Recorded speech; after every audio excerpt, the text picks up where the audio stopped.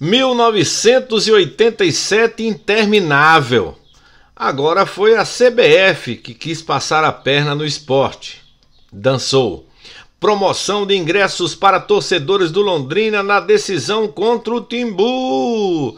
Eita! Olha, técnico que odeia o esporte divulgou a relação dos jogadores que vão enfrentar o Leão pelo Coritiba. É, minha gente, não brinque não. Resultados de ontem pela Série B, atualização da classificação e muito mais a partir de agora na sua tela.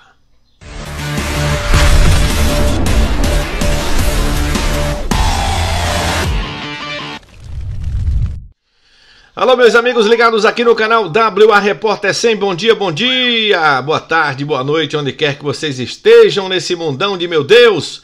Chegamos com mais um conteúdo aqui no nosso canal. É um canal que fala do futebol de Pernambuco, do Nordeste do Brasil e às vezes do futebol internacional. Aqui tem vídeo todo santo dia com muita informação e opinião sem ficar em cima do muro. Olha, a explicação sobre o novo golpe que a CBF quis dar no esporte. Porque antigamente era só Flamengo, Flamengo, Flamengo. Agora o, a CBF resolveu ela dar um tentativa de golpe no esporte, só que dançou de novo. Eu vou ler a notícia, vou explicar, mas vai render um outro vídeo com a explicação de um profissional da área jurídica que vai contar para vocês tudo que aconteceu é, mais uma vez sobre 1987. Mas, gente, ontem teve futebol pelo Campeonato Brasileiro, olha aí na tela, Série B, Novo Horizontino 1, Ituano 0, é, Amazonas 2, Ponte Preta 1 e Operário 2, Vila Nova 3, minha gente. Teremos nesta quarta-feira América Mineiro e Chapecoense, Coritiba e Santos, é, Mirassol e Botafogo de Ribeirão Preto, teremos CRB e Ceará, Goiás e Brusque, os cinco jogos de hoje pelo Campeonato Brasileiro da Série B. Os oito primeiros aí na tela: Novo Horizontino, Mirassol, Santos e Vila Nova. O quinto é o América Mineiro. O Esporte é o sexto com dois jogos a menos. O sétimo é o Havaí. O oitavo, o Amazonas. A zona da sofrência: CRB e Botafogo ali na porta da zona da sofrência. Mais Ituano, Chapecoense, Brusque e Guarani.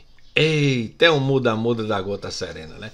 Bora chamar a vinhetinha para ficar mais animadinho o negócio aqui, ó. Deixa o like, se inscreva no canal e aperte o sininho para receber as notificações dos nossos conteúdos. Aqui na tela tem um QR Code, que é um Pix, que você pode colaborar com o canal, colaborar com o repórter e principalmente incentivar o nosso trabalho. Qualquer valor será muito bem-vindo. Olha aqui o endereço do Pix aqui o QR Code e aqui o endereço do Pix, welaraújo.hotmail.com. Fica fixo, gente, na descrição de todos os nossos vídeos. Minha gente, deixa eu mostrar para vocês aqui, rapaz, uma informação.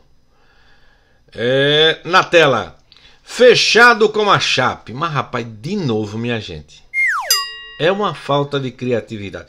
Gilmar Dalpozo é o novo técnico do Verdão para os compromissos da sequência da temporada. Velho conhecido da torcida Alviverde, o profissional já comandou a equipe em 124 jogos e chega para sua quarta passagem pelo clube. Além de Dalpozo, vem mais blá, blá, blá, blá, blá. Minha gente, eu vou contar um negócio a vocês.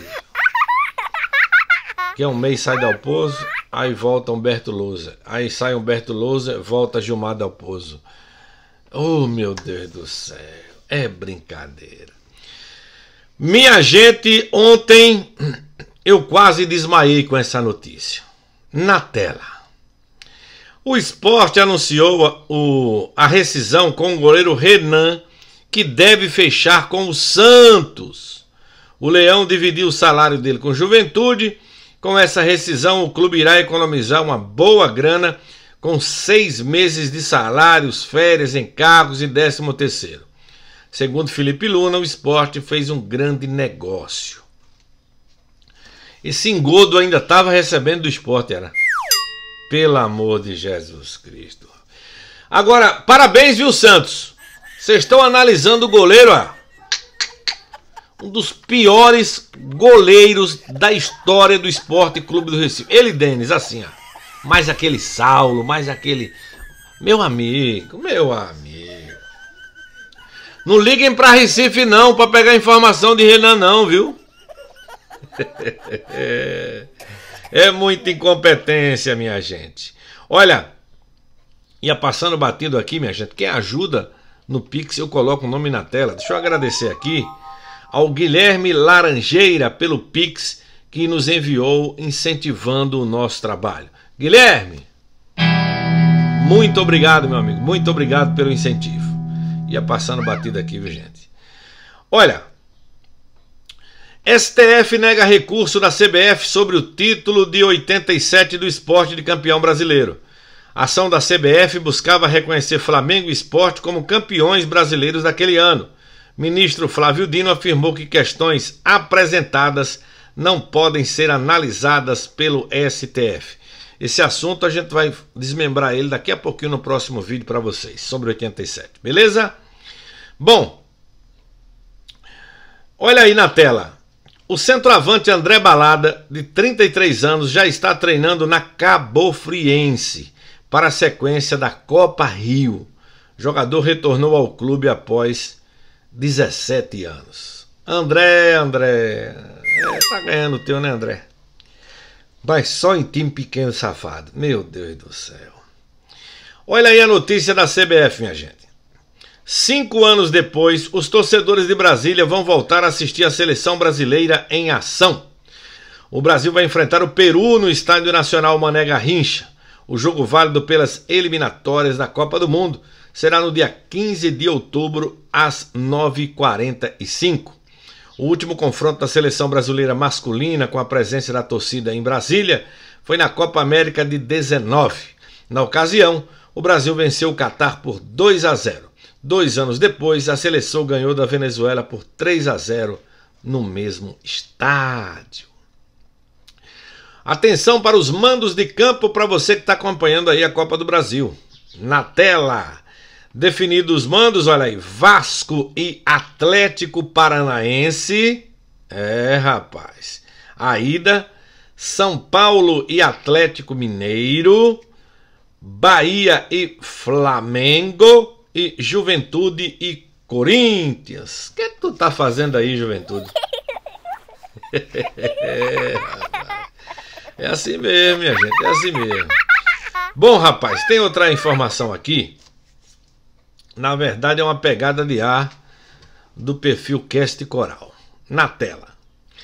Enquanto o torcedor do Santa Cruz está pé da vida com a Volt, o vice-presidente coral Marcos Benevides, o diretor de marketing do Santa Cruz André e alguns integrantes do Pro Santa estiveram em Joinville jogando pelada com os executivos da Volt.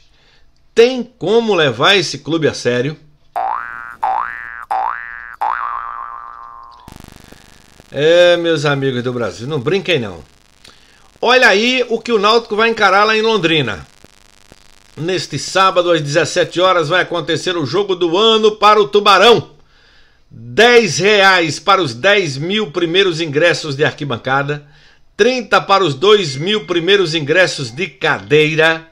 Sócio Tubarão pode levar um acompanhante. Criança até 12 anos não pagam. Fui dar uma olhadinha agora no site do Londrina e já vendeu 2 mil ingressos para o jogo decisivo contra o Náutico. Lembra desse aqui, minha gente? Esse é Jorginho, um dos maiores laterais direitos do mundo, campeão do mundo, tetra em 94. Parou por aí. É o atual técnico do Curitiba. Odeia o esporte. Você sabe o que? Odiar o esporte. Todos os podcasts que ele que ele participa quando fala do esporte 87, ele não existe, jamais trabalharia lá, não foram campeão de nada, esculhamba o esporte. Então, já sabe, né? Olha, o Jorginho divulgou a relação dos jogadores do Coritiba, que isso aí, gente, deveria ser obrigatório pelos clubes. Mas aqui, por exemplo, Pernambuco é uma frescura para liberar relacionados. Claro, se você liberar a escalação antes, ah, atrapalha, municia o adversário mas a relação de quem viaja, olha aí a relação. Benazzi, Gabriel Leite e Pedro Morisco, os goleiros. Benevenuto, eh, Bruno Melo, Maurício Antônio e Thalisson, os zagueiros. Os meio-campistas Matheus, Ma, é, Matheus Bianchi, Matheus Friso, Morelli, Sebastian, Vini e Zé Gabriel. Os laterais Johnny, Natanael e Rodrigo Gelado. Os atacantes Brandão, Ebert, Eric, Júnior Brumado, Lucas Ronier, Robson e Wesley Pomba. Os relacionados que o Curitiba divulgou normalmente, sem frescura nenhuma. Para a imprensa saber pelo menos quem viajou, né? Aqui em Pernambuco, a frescura é gigante. E aí o. Re... Não, eu não estou dizendo que os times estão lascados por causa porque não divulga a relação, não. Mas essas frescurinhas. Ah, que os clubes de Pernambuco tá... não divulga a relação, não divulga isso. É um segredinho danado para levar lapada no Campeonato Brasileiro. E o pior. E o pior não é nada, gente. Uma hora antes do jogo, por exemplo, o assessor do esporte leva a escalação do esporte para o adversário e pega a escalação do adversário. Ou seja, eles escondem tudo isso para uma hora antes do jogo entregar de mão beijada para o adversário a escalação. É difícil entender. Eu toco a bola para você e você devolve a bola para mim deixando seu comentário aqui no canal. Saúde acima de tudo.